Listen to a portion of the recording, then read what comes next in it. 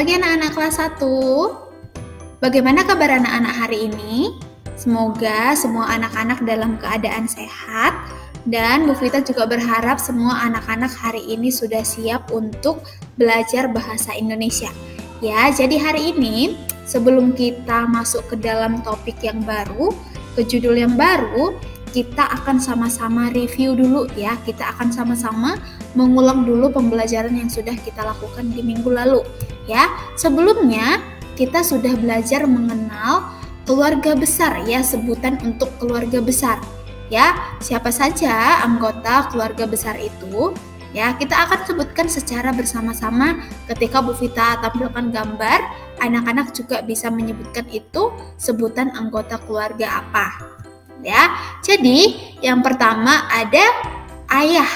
Ayah adalah orang tua laki-laki kita. Kemudian yang kedua ada ibu. Ibu adalah orang tua perempuan kita. Kemudian yang ketiga ada kakak. Kakak adalah saudara yang lebih tua dari kita. Kakak itu bisa saja laki-laki dan juga bisa saja perempuan. Jadi, kakak adalah saudara kita tetapi yang lebih tua dari kita. Kemudian yang keempat itu ada adik. Adik adalah saudara kita yang lebih muda ya bisa saja perempuan bisa juga laki-laki ya tapi adik itu pastinya lebih muda dari kita ya lebih kecil daripada kita Nah, yang kelima adalah kakek. Kakek adalah orang tua laki-laki dari ayah dan ibu kita. Ya, orang tua laki-laki berarti kita punya dua kakek. Kakek dari mama dan kakek dari ayah. Kemudian sama juga dengan nomor enam yaitu nenek. Nenek ini adalah orang tua perempuan dari ayah ataupun ibu kita. Jadi kita juga punya dua nenek. Nenek dari ayah dan nenek dari ibu. Kemudian yang ketujuh ada paman. Paman adalah saudara laki-laki dari ayah ataupun ibu kita. Ya, nah kalau paman kita ya menyebut kita itu apa anak-anak? Anak-anak tahu nggak? Paman itu menyebut kita itu apa? Paman menyebut kita dengan keponakan ya anak-anak ingat. Sama juga dengan bibi. Bibi juga menyebut kita sebagai keponakan. Karena apa? Karena Bibi juga adalah saudara perempuan dari ayah ataupun ibu kita. Ya. Nah, Bibi ini juga biasanya dipanggil atau disebut juga sebagai tante. Ya, tulisan tante itu T A N T E, tante. Ya. Nah, yang kesembilan ada sepupu. Sepupu itu adalah saudara kita yang dilahirkan oleh paman ataupun bibi kita, yaitu anak dari paman ataupun bibi kita. Kita sebut dengan sepupu, ya. Nah, itu dia uh, sebutan untuk keluarga besar. Nah, setelah anak-anak belajar uh, sebutan keluarga besar, bagaimana perasaan kalian? Apakah kalian merasakan sedih atau kalian merasakan gugup atau kalian merasakan uh, berbunga-bunga merasakan senang, mana yang kalian rasakan? Ya, jadi apa pun yang kalian rasakan, kalian harus percaya, harus tahu bahwa uh, yang kalian rasakan itu kalian tidak merasakannya sendirian, ya tidak seorang diri, tapi ada juga orang-orang di luar sana yang merasakan itu. Ya, karena kenapa? Karena semua orang itu punya emosi, punya perasaan. Ya, begitu. Nah, sekarang kita akan mulai pembelajaran kita. Di pertemuan kali ini, kita akan mengenal silsilah keluarga. Ya, silsilah keluarga besar. Ya, ketika anak-anak mendengarkan kata silsilah, apa yang ada di dalam uh, pikiran kalian?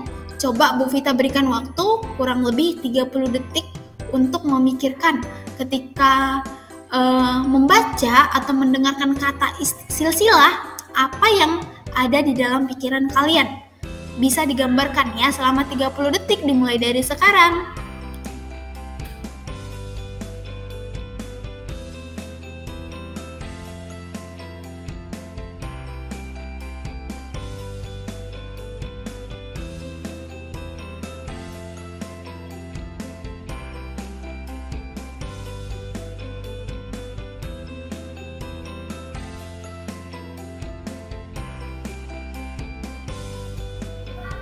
Oke, waktunya sudah habis. Jadi, apa itu silsilah keluarga? Silsilah keluarga adalah menunjukkan asal-usul keluarga, ya. Jadi, kata silsilah tadi artinya asal-usul. Ya, silsilah keluarga itu menunjukkan asal-usul keluarga. Ya, contohnya gimana Bu Vita? Contohnya adalah nih, misalkan nih anak-anak kelas 1. Anak-anak kelas 1 pasti ada kalian itu ada karena memang ada asal usulnya. Ya asal usul kalian dari apa? Dari siapa? Dari ayah dan ibu kalian. Nah ayah ibu kalian itu asal usulnya dari siapa? Nggak mungkin kan ayah dan ibu kalian itu ada dengan sendirinya? Ya ayah dan ibu kalian itu berasal dari kakek dan nenek kalian. Ya kakek nenek kalian juga ada asal usulnya.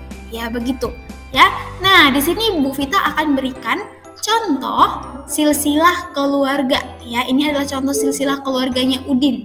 Ya Udin mempunyai ya kakek dan nenek yang dari ibu. Ya ini kakek dan nenek yang dari ibu ya yang dari ayah tidak digambarkan di sini yang dari ibu. Ya ini adalah kakek dan nenek dari uh, ibunya Udin. Ya nah kakek dan neneknya ibunya Udin mempunyai dua orang anak yaitu yang disebut dengan ibu kalian, ibunya Udin ya maksud ibu, ibunya Udin dan juga pamannya Udin. Ya, gambar laki-laki yang di sebelahnya ibu. Ya. Kemudian ibu menikah dengan seorang laki-laki yaitu ayahnya Udin, ya, ayahnya Udin. Ya. Nah, ayah dan ibu mempunyai dua orang anak. Dua orang anak anak itu siapa? Namanya Mutiara dan Udin itu sendiri. Nah, ternyata pamannya ibu paman pamannya Udin ya atau saudaranya ibu memiliki seorang istri ya yang Udin sebut itu dengan bibi ya nah paman dan bibi mempunyai dua anak ya tapi di sini nggak disebutkan nama anaknya siapa tapi Udin menyebutnya dengan saudara sepupu ya dan di sini sepupunya itu cuman eh, laki-laki uh, ya itu laki-laki semua ya nah itu ya jadi ini adalah silsilah keluarga Udin. Nah, kakek neneknya diambil dari uh, ibu ya, dari ayahnya tidak diambil. Nah, sekarang dari contoh silsilah keluarga Udin itu, eh, anak-anak uh, akan belajar membuat bagan silsilah keluarga besarmu pada buku gambar. Ya, bagan itu seperti tadi, ya diberikan gambar. Ya kalau anak-anak punya foto bisa difoto terus di print terus ditempel nanti di kotak-kotak yang anak-anak gambar. Ya tapi kalau misalkan nggak punya fotonya ya udah digambar aja sendiri. Ya digambar kalian gambarkan. Ya bagan silsilah keluarga uh, besar kalian pada buku gambar. Ya dan juga berikan namanya ya misalkan kakeknya nama kakek kamu siapa ditulis nama nenek kamu siapa nama ayah kamu siapa nama ibu kamu siapa dituliskan ya. Nah, setelah selesai membuat silsilahnya jangan lupa juga untuk diwarnain dan dihias semenarik mungkin ya. Kemudian jangan lupa untuk tetap dijaga kebersihan dan kerapihan ya silsilah keluarganya. Supaya apa? Supaya nanti uh, bagus dilihat ya dan bersih. Ya, oke anak-anak semua, contohnya seperti silsilah keluarga Udin tadi. Ya, keluarga besar dari kakek dan nenek. Dipilih aja dari kakek dan nenek dari ibu atau dari ayah. Dipilih aja ya anak-anak ya. Nah itu adalah untuk latihannya. Nah demikian penjelasan untuk silsilah keluarga. Terima kasih Tuhan Yesus memberkati. Semoga hari ini anak-anak kelas 1 luar biasa dan uh, semoga latihannya bisa dikerjakan dengan baik thank you. Dadah